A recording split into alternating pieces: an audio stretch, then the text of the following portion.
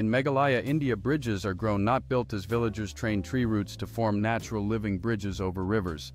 Some of these remarkable structures are over 500 years old and still strong.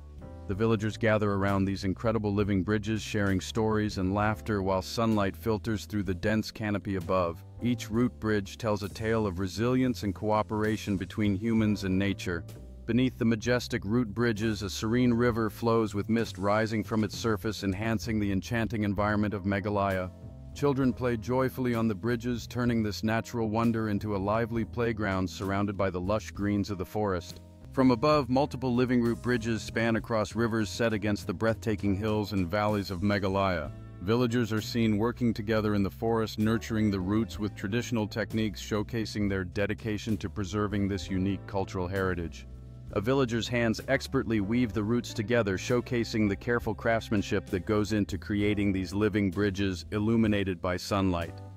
An elderly villager stands proudly on one of the bridges sharing stories about its history and the importance of this ancient practice with younger generations.